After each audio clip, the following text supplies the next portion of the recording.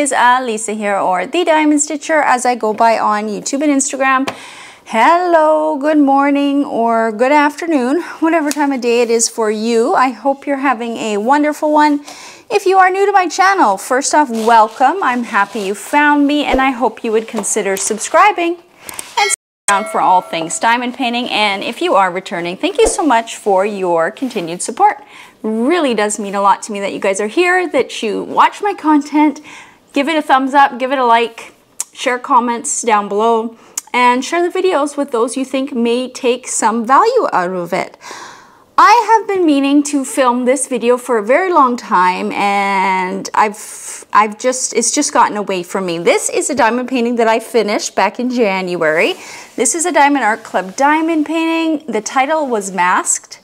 I can't remember the artist and I've covered up the um, print on the canvas border so I can't see it. It was one of the exclusive kits for their, I believe it was the Christmas 2023 mystery diamond painting box that I got. You can't purchase it anymore. It's been archived and yeah, I have been keeping this one rolled up. I did finish the border uh, probably back in January. What I do to finish my diamond paintings, as you can see, I've painted it black and I use a glossy type paint. I think it just gives it a nice kind of uh, more um, fancy look than a matte type paint. This is actually the paint I use and I know people always tell me you know, you probably could use the regular acrylic paint, but you guys, this one works, so I'm not changing it. This is a ready to pour acrylic, so it is actually a bit thinner than typical acrylic paint because it's actually used for pouring um, kind of acrylic paint. I don't know what those paintings are called where you pour pour it and, and move it around and it makes pretty pictures. But um, it's jet black and it has a bit of a gloss finish. It was on sale, I think, when I was looking for some paint and I just grabbed this one and it's been working, so I'm not changing it. I got it from Michaels. You can also find it on Amazon.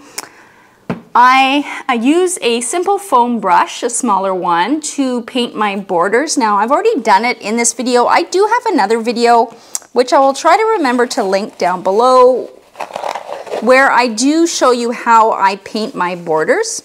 Now that video was filmed a little while ago, but I haven't really changed my technique. What I do is I actually pour a bit of this paint on a Ziploc bag and I use my foam brush, I dip it in the paint, and what I do first is I start usually at, at one of the edges and I line up the edge of the foam brush here with the diamonds. I don't put tape on the diamonds, I don't cover the diamonds, I'm just very careful. And what I do is I put it right up against the diamonds and I very slowly pull it down here all the way to the bottom all the way to the end here. And then I go back a second time, usually using it like this, so the flat way, and I pull it down to paint the rest of it. And I do this on all four sides. I let it dry for probably about 10 minutes and then I put another coat on. So I always do two coats because there are, uh, when you just do one, there are spots where you do see some white come through. So um, I do it in two coats. I don't seal my diamond paintings anymore.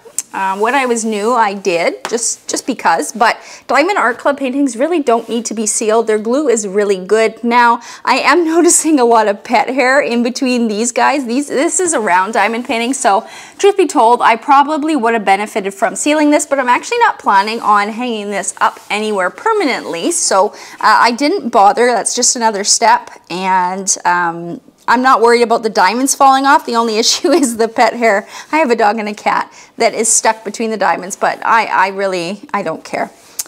Um, yeah, so that's what I do. And then what I do is I have this and I did this before sitting down here because it's I can't do it on this table that I'm on. I have to use the kitchen counter. But what I do is I cut the borders down.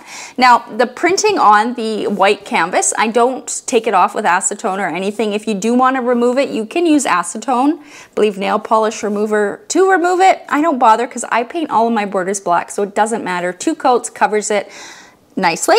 And then what I do is I get my craft uh, ruler I just picked this up at Michael's back when I was sewing. And I have an X-Acto knife and I make sure, now this is looking kind of funny because it's hard to break these things off, but I make sure that I've cracked it if it's, if it's been used quite a bit so it's nice and fresh, so it's nice and sharp. And what I do for my borders, I actually usually use, and it's going to be hard to see on here, because it's gonna focus on the diamond painting.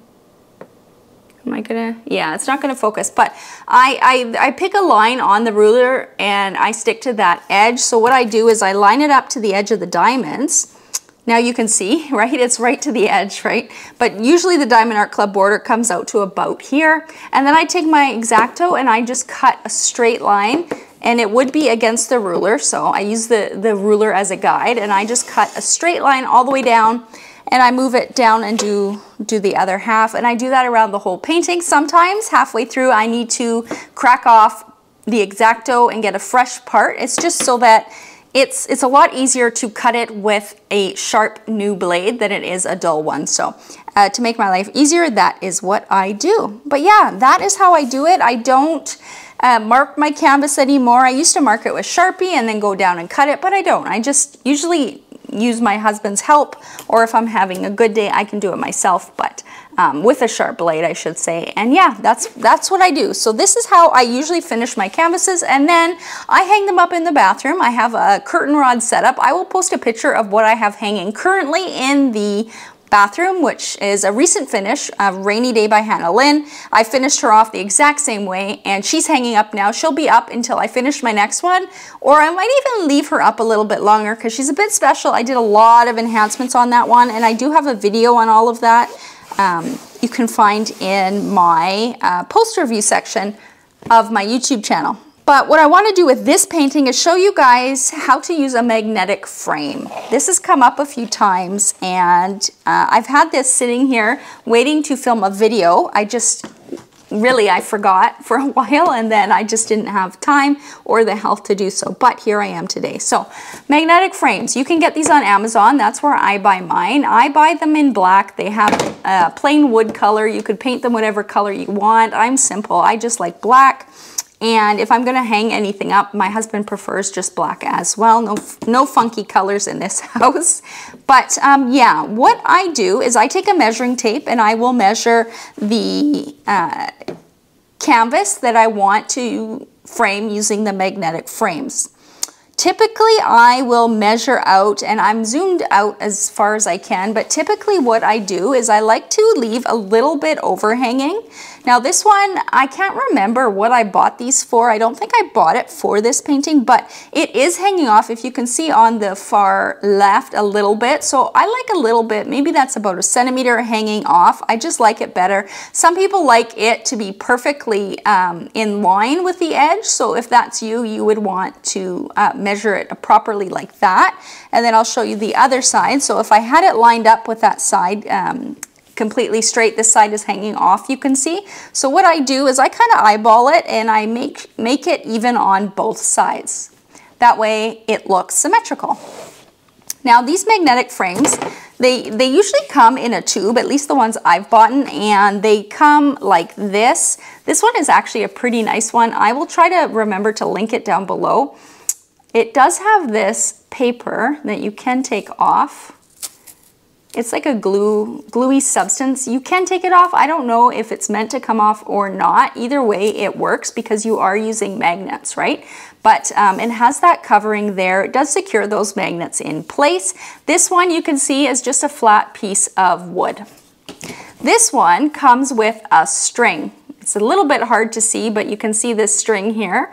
Now what I like to do is put this part on the back of my painting because down here, let me pull it this way, you see this little knot. So I prefer that on the back side of my painting. So this is the one that's going to face down. Now with Diamond Art Club paintings, lots of them are big and they're gonna be heavy once the diamonds are down on them. So what I like to do is secure my canvas to this back piece, the piece that has the string on it. And that's the only part that I secure to it. The rest, I just let the magnets do their job. Uh, this way, when I hang it up on the hook, I don't have to worry about this diamond painting sliding down at all. Now, this one is not that big and it's not that heavy, so I might get away with just using the magnets, but I wanted to show you what I do to secure them. There's a few different things you can do. You can use craft glue, so E6000 or Gorilla Glue. I have in the past done Gorilla Glue. It works, it's just very messy. You can also use Velcro strips. So some people will um, cut thin Velcro strips to put it on here and then put the other part of the Velcro on the back of the canvas and then you can secure it that way. That is nice if you want to reuse these magnetic frames, if you want to perhaps rotate paintings. Uh, the Velcro would allow you to do that. Uh, the glue would not. Once you have that Gorilla Glue on, it's going to be stuck for life. What I actually prefer to do is use a staple gun. I purchased a small-ish staple gun from Amazon and it came with its own staples of a few different varieties. I choose the staple that is the shortest in in uh, height because the problem is sometimes if your staples are too long they can actually puncture through the back of this now it doesn't really matter if that happens because this is going to be facing our wall so um, if it does happen at least it's not, you know, on the front side and, and it's going to ruin the frame. But I think I've set it properly. We will see.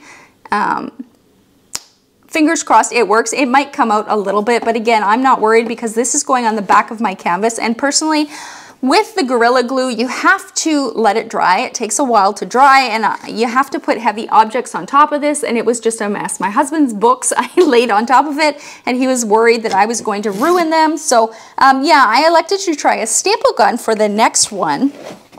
I have used it before and I'm going to use it again here, but it may actually um, create a very loud noise when I do, you know, activate the staple gun. So I may mute the video while I'm doing it, but I am going to um, put probably three staples in. And that's just so that it hangs uh, without too much sagging in the middle. I could just do a staple on either end, but I'm also going to do one in the middle. And you want to make sure you're not stapling over the magnet. So in between the magnets is where you want to aim. Now I'm going to do the right one first. And just bear with me because my table is, you know, small. I don't have a lot of space like some people.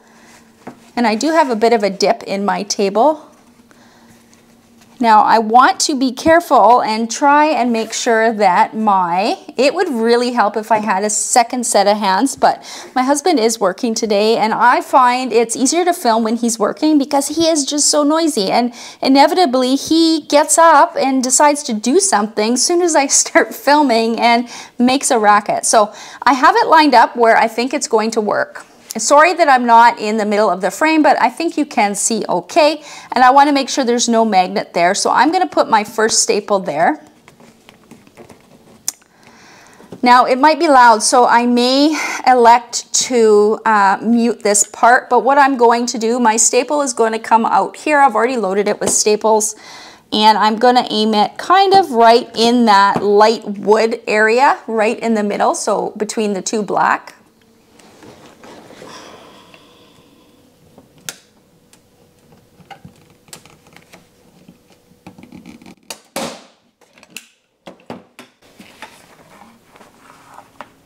Now, the one thing with the staple uh, gun is this little knobby on this one. Now, they all could be different, right? But this little knobby controls the depth. And as you can see, this staple is going to stick out a little bit. What I'm actually going to do, let me see if I can get that in frame. Where are we? Can you focus? Focus. There we go. See that staple is just hanging up a little bit. I'm going to grab my hammer and I'm just going to hammer in a little bit more. This is a cute little hammer that we keep in the junk drawer. Well, not really the junk drawer, the handy drawer. Um, I got it from, or my husband got it from Chapters. I um, I don't know if you have chapters in the States, but it's just a handheld little hammer. It actually is like a utility knife. It comes with all sorts of different little tools. But what I'm going to do is I'm probably going to mute this because it's going to be loud. And I'm just going to hammer this in a little bit. Actually, I'm going to take it off camera because this table is very, very echoey and I don't want to scare my animals. So hold on. Okay, we are hammered in. Let me see if I can get it to focus. Kind of. It is flat. So nice and flat. And you want it flat because you want the other uh, magnetic bar to attach uh, with the magnets and, and not have anything in the way. Now I'm going to do probably the other end first. So let me just move my stuff, try to keep it in frame. So I'm gonna make sure that it's lined up pretty evenly here. I'm gonna double check that there's no magnet right here where I'm gonna put my staple. Now the stapler does make a loud noise, so I'm going to mute it again, but I'm gonna line it up kind of in the middle.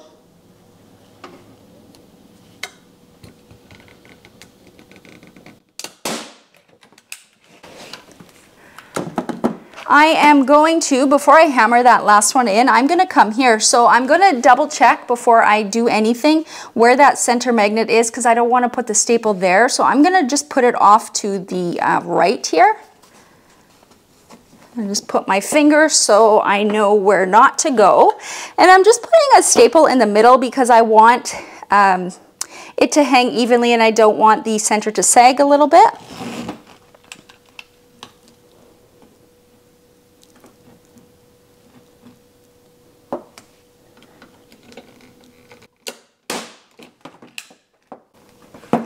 Okay, you guys, I am gonna take this over and hammer those last ones in. The one thing about living in a one bedroom apartment is you don't have a tool table or a, a workshop or anything like that. I don't even have a craft room, you guys. We uh, make it work in the living room. But what I've done is I've put three staples in, one on the left, one in the center, one on the right, and I have um, used a, a, hammer just to flatten them out a little bit more. Now I could play with this depth thing, but I really don't want to do that today. Um, the other thing is, look on the back. Let me see if I can get, yeah, you can see it. See, the staple did come through a little bit. It's no biggie because this is going to face the wall. Nobody is going to see it. So for me, it is just fine. And it's actually not that much. If you were worried about this scratching your wall, you could put like a, what are those called? The felt pads that you put on furniture, on wood floor. You could put something like that back there, but you really don't need it. It is not sharp at all. Now what I'm going to do is grab this second piece. So this is the piece that goes on the front and we're gonna see if it sticks just like that. So magnets attached, even with those staples in there, it's not affecting uh, them because it's not very deep, right? If it was very deep, then these magnets might not attach, but they attach quite well. You can see that it's barely moving. You can kind of shimmy it off there, but it does attach. Now, when you go to hang it up, you're gonna hang it up with this string, and because the canvas is attached to the um, back part of this, you're not gonna have, it's not gonna slide off at all. You don't need to put staples in this side one. It's going to be impossible. You would have to glue this side if you really wanted to, but you don't need to because the only thing that needs securing is the diamond painting on the back of this frame that has the string. This one will attach with the magnets. It's not going to fall off at all, so you don't need to worry about that. Now, I'm going to come down to the bottom and show you the bottom. And then what I will do is I will hang this up and so you can see it hanging. And um, yeah, I'll insert that picture at the end. But first we want to add this on the bottom. So here is the magnetic frame parts that are going to go on the bottom. There are no strings on here because you're not going to hang the bottom, right? There are just two black uh, pieces of wood with the magnets inside. So you're just going to line them up.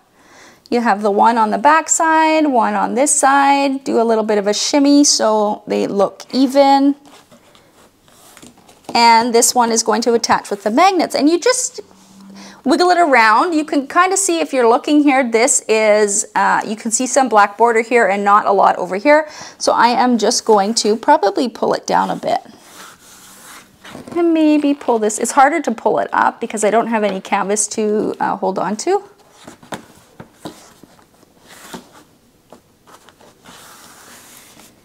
And there we go. So let me just pull it over so you can see here. I really like it when there is a little bit of overhang of this frame. Again, that is just preference. Some people like it, you know, right up to the side. I prefer it with a little bit of an overhang. And then let me just show you this side and this side is the same.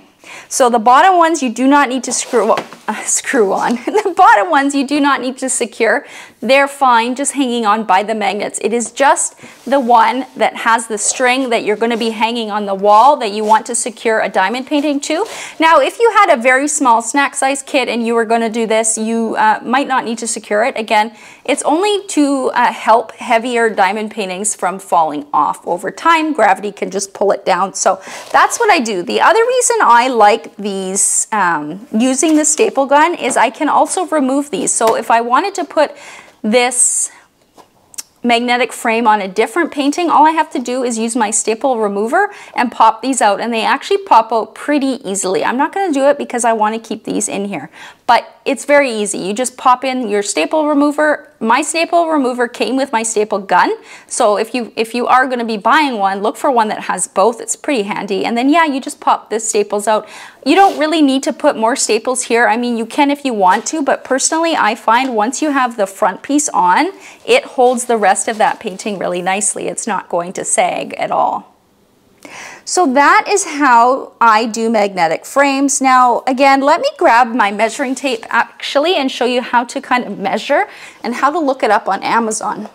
Okay, so when you want to uh, measure, always measure your canvas when you're going to do framing, whether you're using magnetic frames or another type of framing, always get your measuring tape out and measure the dimensions on your diamond painting typically are just for the drill field, so it doesn't take into account any of this border. So if you are gonna leave a bit of a border and paint it, then, or with washi tape, right, um, you're gonna need to measure it, otherwise you're gonna order something that doesn't fit. Most things are in inches, so what I do is I take my measuring tape and I guess. So I'm gonna just put it on this side.